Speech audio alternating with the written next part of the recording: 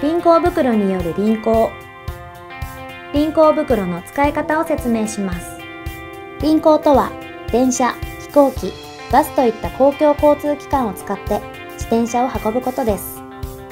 輪行袋には4種類の袋がありますが今回は横型の輪行袋を使います。リアエンド金具が必要ないので初心者でも気軽に輪行に挑戦できます。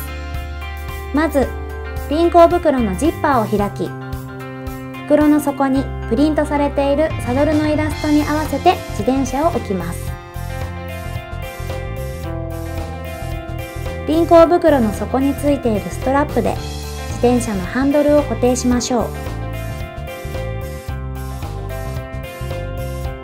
次に後輪ギアが丸く補強してある方に来るように車輪をホイールケースに入れます。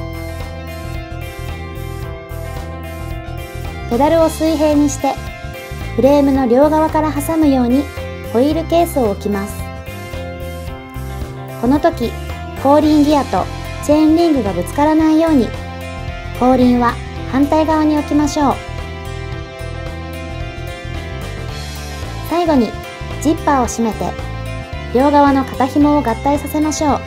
これで輪行袋による輪行の完成です。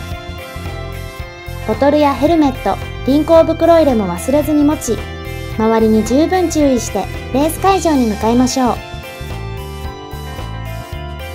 前輪と後輪の外し方は、タイヤ交換シリーズをご覧ください。